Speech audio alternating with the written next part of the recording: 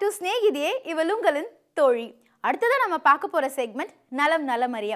வீட்டில் இருக்கிற எல்லாரோட ஆரோக்கியத்தையும் நல்லா கவனிச்சுக்கிற பெண்கள் அவங்களோட ஆரோக்கியத்தை அவ்வளவா கவனிச்சிக்க மாட்டாங்க. அப்படிப்பட்ட பெண்களுக்காக நிறைய ஆரோக்கியமான விஷயங்களை சொல்லித்தர செக்மெண்ட் தான் இது. இன்னைக்கு இந்த செக்மெண்ட்ல நம்ம கூட பேச வந்திருக்காரு டாக்டர் சையத் அலி அவர்கள். பெண்களுக்கு ஏற்படுற பிரச்சனைகள் பற்றியும் அதற்கான தீர்வுகள் பற்றியும் நிறைய விஷயங்கள் சொல்ல போறாரு.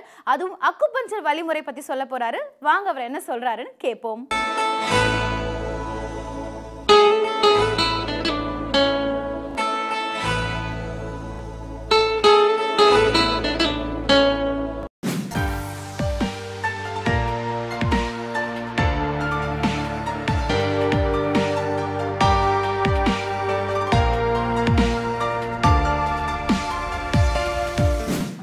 Welcome doctor. வணக்கம்மா. ஸோ அக்குபஞ்சர்னா என்ன? அக்குபஞ்சரில் எப்படிலாம் ட்ரீட்மெண்ட் இருக்குது ப்ரெஷர் பாயிண்ட் அப்புறம் நீடில் பற்றி நிறைய விஷயங்கள் நீங்கள் வார வாரம் எங்களுக்கு சொல்லிட்டே வரீங்க. அதே மாதிரி வந்து ஒரு நோய் வருதுன்னா அதுக்கு வந்து ஒரே ஒரு பார்ட்டு தான் காரணம். அப்படி கிடையாது. வேற ஒரு பார்ட் பாதிச்சா கூட அந்த ப்ராப்ளம் வரும். அந்த மாதிரியான விஷயங்கள் கூட எங்களுக்கு தெரியாத விஷயங்கள் நீங்கள் நிறையா சொல்லி கொடுத்துட்ருக்கீங்க இன்றைக்கி நான் என்ன கேள்வி வச்சுருக்கேன்னு பார்த்தீங்களா டாக்டர் வந்து ஒரு ஒரு பார்ட்டால் நிறைய டிசீஸ் வருது அப்படின்னு சொன்னீங்க. இப்போ முக்கியமாக வந்து கிட்னி ரொம்பவே முக்கியமான ஒரு ஹியூமன் பாடி பார்ட் ஸோ அந்த கிட்னியால் வேற எந்தெந்த ரிலேட்டட் டிசீஸ் வருது டாக்டர் நம்முடைய உடலில் இருக்கக்கூடிய உடல் நோய்கள் நம்முடைய உடல் இல்லை இந்த உலக அளவில் மக்கள் வந்து எந்தெந்த விதமான நோய்களால் வந்து பாதிச்சிருக்காங்களோ அந்த எல்லா நோய்களுக்கும் மூல காரணம் ரூட் காஸ் அப்படின்னு சொல்லக்கூடியது ஆணிவேர். அந்த நோயினுடைய ஆணிவேர் என்னன்னு பார்த்தீங்க அப்படின்னாக்கா நம்முடைய உடலில் இருக்கக்கூடிய பன்னிரெண்டு உறுப்புகள் தான் அப்படின்றத நம்ம ஆணித்தரமாக வந்து சொல்லிட்டு இருக்கோம். அந்த பன்னிரெண்டு உறுப்புகளில் பஞ்சபூத தன்மையில் ஏற்படக்கூடிய மாற்றங்கள் அதை கண்டுபிடிச்சி அதுக்கு தகுந்த மாதிரி நம்முடைய உடலில் இருக்கக்கூடிய சேனல்ஸ் அதில் புள்ளிகள் அந்த புள்ளிகளில் நம்ம வந்து தேர்ந்தெடுத்து அந்த புள்ளிகளில் வந்து நம்ம நீடில் பண்ணி அந்த நோய்களை குணப்படுத்துகிறோம் இதுதான் வந்து நம்ம சிம்பிளாக அக்குமஞ்சலை இப்படி தான் செய்கிறோம் அப்படின்னு சொல்லிட்டு சிம்பிளாக நம்ம வந்து சொல்லிட்டு இருக்கக்கூடிய விஷயம். ஆனால் இதுக்கு உள்ள அதாவது இந்த சப்ஜெக்ட்டுக்கு உள்ள இன்னும் கொஞ்சம் போய் நம்ம பார்த்தோம் அப்படின்னாக்கா அப்போ தான் வந்து இதனுடைய உண்மைத்தன்மை என்னன்றது நமக்கு தெரிய வரும். இப்போ அதுதான் வந்து நம்ம மக்களை வந்து சொல்ல போகிறோம் நம்ம. அதாவது இப்போ ஒவ்வொரு உறுப்பாக நம்ம சொல்லணும்னு பார்த்தீங்க அப்படின்னாக்கா முதல்ல வந்து நம்ம கிட்னியை நம்ம எடுத்துக்கலாம் அப்படின்றது தான் இந்த கிட்னியை வந்து ஏன் நம்ம முதல்ல எடுத்துக்கிறோம் அப்படின்னு பார்த்தீங்க அப்படின்னாக்கா ஒரு தாயினுடைய வயிற்றில் ஒரு ஆணினுடைய நீர்த்துளி அந்த நீர்த்துளி போயிட்டு அந்த தாயினுடைய கர்ப்பப்பையில் விழும்போது விழுந்து அதிலிருந்து உருவாகக்கூடிய அந்த அந்த பெண்ணுடைய உயிர் துளியும் ஆணுடைய உயிர் துளியும் ஒன்றாக சேர்ந்து உருவாகக்கூடிய முதல் உறுப்பு எதுனாக்கா கிட்னி தான் நம்முடைய உடலை இதை நம்ப முடியுமா? நமக்கு தெரியுமா? பார்த்தீங்க அப்படின்னாக்கா ஒரு சில பேருக்கு ஒரு ரெண்டு மாதம் மூணு மாதத்தில் ஒரு ஸ்கேன் எடுத்து அபாஷன் பண்ணிடுவாங்க. ஏன் அபாஷன் பண்ணுவாங்கனாக்கா அந்த கிட்னியுடைய வளர்ச்சி வந்து சரியான முறையில் இல்லை அப்படின்றத வந்து ஒரு கட்டி மாதிரி இருக்குது உடனே இதை இதை எடுத்துருக்கு ரிமூவ் பண்ணிடுங்க அப்படின்னு சொல்லிட்டு வந்து நிறைய பேருக்கு வந்து அபாஷன் பண்ணிட்டு இருக்காங்க ஸோ அது வந்து உண்மையான விஷயம் அது. அந்த கிட்னி ஆகப்பட்டது அந்த பொருள் அந்த நீர்த்துளி ஆகப்பட்டது சரியான முறையில் வளர்ச்சி ஏற்பட்டு அந்த கிட்னியாக மாறி அந்த கிட்னியிலிருந்து தான் வந்து பார்த்தீங்க அப்படின்னாக்கா உலக மனிதனுடைய உடல் வந்து மாறும். மெடிக்கல் லைனில் இருக்கிறவங்க வந்து அது நல்ல நல்ல முறையில் புரியும் நம்ம நிறைய வந்து ஸ்கேனிங் பார்த்தோம் அப்படின்னாக்கா அதுவும் நல்லா புரிஞ்சிக்க முடியும். பாமர மக்களும் அந்த ஸ்கேனிங் பார்க்கும்போது அந்த ஒவ்வொரு சதை பிண்டமும் எப்படி மாறிட்டு வருது எலும்புகள் எப்படி மாறுது சதைகள் எப்படி மாறுது ஒரு உருவம் எப்படி வருது அப்படின்றது நல்லா க்ளீனாக தெரியும். அந்த மாதிரியான ஒரு பவர்ஃபுல் ஆர்கன் எதுன்னு பார்த்தீங்கன்னா கிட்னி தான்.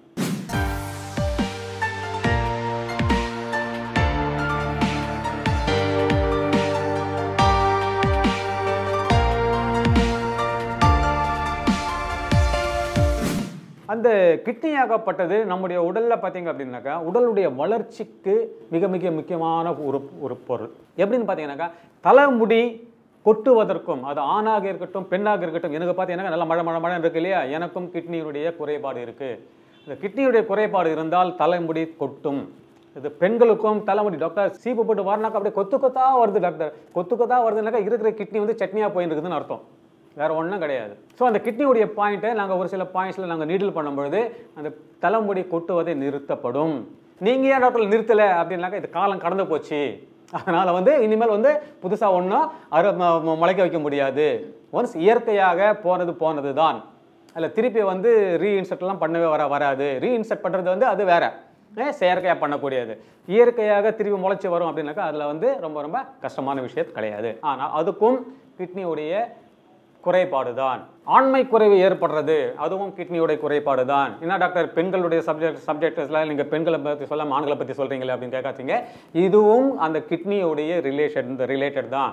பெண்களுடைய மலட்டுத்தன்மைக்கும் கிட்னியுடைய ப்ராப்ளம் தான். பெண்களுடைய மாதவிடாய் பிரச்சனைக்கும் கிட்னி தான் காரணம். பெண்களுடைய ஒயிட் டிஸ்சார்ஜ் அப்படின்னு சொல்லி டாக்டர் எப்போ பார்த்தாலும் மாதத்துக்கு முப்பது நாளும் ஒயிட் டிஸ்சார்ஜ் டாக்டர் அப்படின்னு சொல்லக்கூடிய பெண்களுக்கும் அந்த கிட்னி தான் ரிலேட்டட் கிட்னி மட்டுமே ரிலேட்டட் கிடையாது. இதுவும் ஞாபகம் வச்சுக்கோங்க. இதுவும் ஞாபகம் கிட்னி வணக்கம் அதர் ரிலேஷன்ஸ் எல்லாம் அதில் அந்த கிட்னிக்கு சப்போர்ட் பண்ணக்கூடிய உறுப்புகள்லாம் நிறைய இருக்குது அதுக்கும் அதில் வரும். அதனால் கிட்னி தான் வந்து மெயின் காரணம். கிட்னின்னு வரும்போது இதெல்லாம் வந்து இருக்கும். அப்படின்னு பார்த்தீங்கன்னாக்கா இது பெண்களுடைய மலட்டுத்தன்மை பெண்களுடைய மென்ஸ்ட்ரல் டிசார்டர்ஸ் மாதவிடாய் பிரச்சனைகள் அது எல்லாமே வந்து கிட்னியோடைய ரிலேட்டடில் வரும். இன்னொன்று பார்த்தீங்கன்னாக்கா போன் பெயின் ஆர்த்தரைட்டிஸ் அது எந்த முட்டி எந்த ஜாயிண்ட் இருந்தாலும் சரி தலையில் இருக்கும் எலும்புகள். உச்சந்தலேருந்து உள்ளங்கால் வரைக்கும் நம்ம உடம்புல எலும்புகள் இருக்குது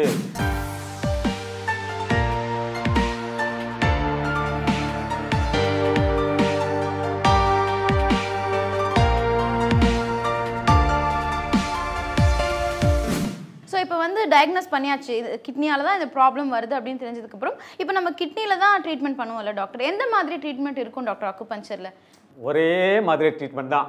அக்கு பஞ்சரில் அந்த கிட்னியை வந்து அதில் கிட்னியுடைய குறைபாடு அதிகப்படியாக இருக்கிறதாக நாங்கள் எப்படி கண்டுபிடிக்கிறோம் அப்படின்னாக்கா இது ஒரு வகை.